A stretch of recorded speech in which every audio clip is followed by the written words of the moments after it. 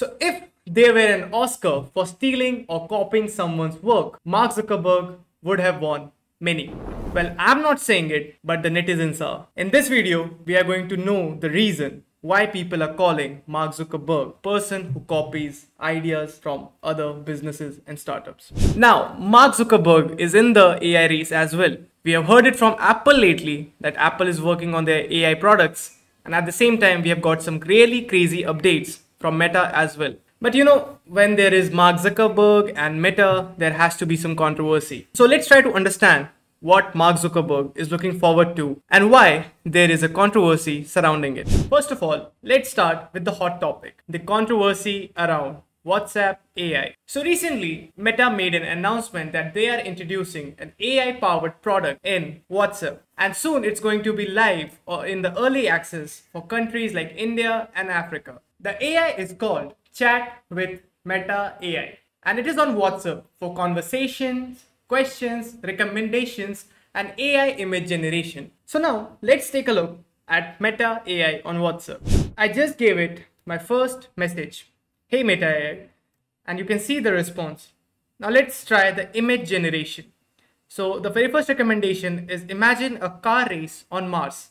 So let's try it. You can see it uses slash imagine, which is quite similar to Midjourney. So if you have ever used Midjourney, you know before writing any prompts, we used to add slash then imagine then we used to write a prompt. And i think the picture is pretty good. We can see a f1 car in the Mars background like and it was quite fast as compared to midjourney or chat gpt or DALL-E that we use.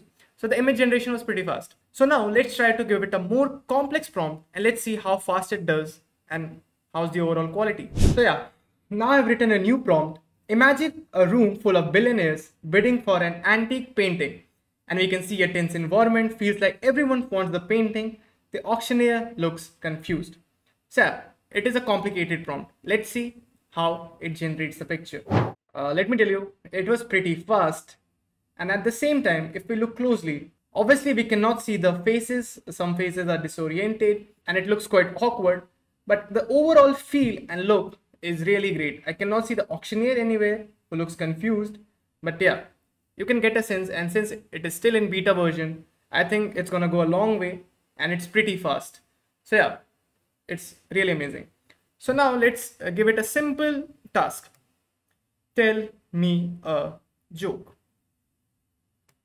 Let's see. Here's one. Why did the scarecrow win an award? Because he was outstanding in the field. Get it? Hope that made you smile. Well, obviously you're fast, but this uh, is not a very good joke. I hope if I give it more descriptive prompts, it can give me a good joke. But yeah, Overall, my first impression on Meta AI is pretty good. The image generation is very fast and on simple prompts, it can give you really good results. But if you give it complicated prompts, you might see some flaws and stuff. But yeah, it is still under development. I think uh, Meta is doing some really, really good job. Now the big question here is, why is there a controversy with Meta AI? And why the founder of Perplexity AI spoke out on Twitter. Let's try and understand what's happening. On 12th April, Aravind Srinivas, the CEO of Perplexity AI, posted a tweet saying, honored and proud of our designers. But why so?